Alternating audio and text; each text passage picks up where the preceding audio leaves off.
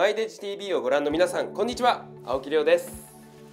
はいえっと、まず本編が終わってからもそうだったんですけれどもやっぱりすごい寂しいって気持ちが多くてその分でもやっぱり達成感っていうのはすごいありました。その中で、1年間みんなで走り抜けてきて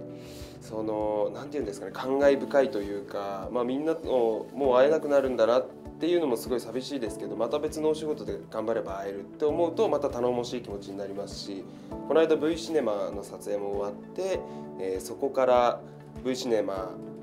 はちょっとまた重いお話とか、まあ、いろいろ明るいお話っていうのもすごいね混ざってあるんですごい楽しみにしている気持ちのちょっと複雑な気持ちがたくさんある状況ですね。はいはい、まず見どころはですね8年後の未来を描いている物語なんですけれどもその中でまあ一人一人8年間に何があったかっていう詳細はですね、まあ、描かれているかいないかはまあ人によりけりなんですけれども、まあ、その8年間何があったかっていう誰に対しても想像ができる自分でバックボーンを作れるっていうところがあの楽しい見どころなんじゃないかなと思います。例えばじゃあ大神寺さんが好き東馬が好き倫太郎が好きってなったらその方々の一人一人のバックボーンをあの自分の中で考えて作れるのでまたいろんな一人ずつの視点で見れるんで何回も見て楽しいストーリーにはなっております。フォームに関してはもう誰よりもファンの方々よりも、まあ、一番僕がファンなので あの大変興奮しましたしフォルムもかっこいいですし服眼もちょっと変わってかっこよくなってしかもその色合いも全くちょっとセイバーらしくない色合いというかエスパーダはほぼ、まあ、最初のフォームが金と新郎だったんですけどそれとはまた全然ちょっと打って変わった感じになれたので剣さばきももちろん8年の間に変わってますし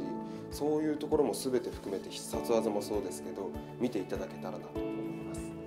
そうですね。僕の、えー、休みの日なんですけど休みはだいたいそのバルコニーに出て椅子が置いてあるのでそこに座って植物たちを育てているので植物たちに水をやったり肥料を与えたりしながらコーヒーを飲んで、えー、大体67時間はいますかね。はい。大好きです。コーヒーはもうほぼ毎日45杯ぐらいは多分今飲んでると思うんですけどそうです。さっきも言ったようにあの67時間って大体まあ友達とかにも「嘘だろお前」って言われるんですけど本当に中入る時はお手洗い行く時かコーヒーを注ぎに行く時ぐらいですかね。はい。え？いや僕実はそのコーヒー好き好き言ってるんですけどブラックが全く飲めなくてですね、えー、かれこれも3年ぐらい挑戦し続けてるんですけどブラックは本当に苦くて飲めないです。やっぱ豆引きたてで飲んでブラックがすごい美味しいって言ってる友達とかを見るとすごい羨ましいんですけど僕全くブラック飲めないんで大体牛乳で割ってたまにお家いる時はガムシロップとか甘いもの入れてそうですね飲むことが基本多いです。はい今回の「真犯人フラグ」はですねあの前回の「あなたの番ですから」まあ、引き続き、まあ、2番目の作品っていう言い方がちょっと正しいのかわからないですけど「まあ、アナバン2」とちょっとあの界隈では言われておりまして、まあ、またミステリー系のドラマなんですけれども今ですね、まあ、どんどんちょっとその、まあ、殺人があったりとか何て言うんだろう難しいな本当にちょっとミステリー結構本格的なミステリーで誰が犯人なのかっていうのが2点3点きっとするこれからすると思うので予想が全くつかないんですね。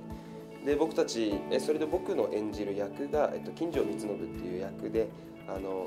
佐野勇斗君が演じる一星が、えー、若くして作り上げた会社プロキシマっていう会社のシステムエンジニアを演じさせていただいてるんですけれども、まあ、佐野勇斗君演じる一星とは、まあ、仲とても仲が良くて、まあ、隼人を支える役として僕は頑張ろうかなとは思っておりますし、まあ、これからね誰が犯人になるかわからないので僕もフラグをどんどん立てていければなと思っております。はい、えー、日本テレビ系の新日曜ドラマ「真犯人フラグ」が現在絶賛放送中でございます。ぜひ見てください。よろしくお願いします。じゃあね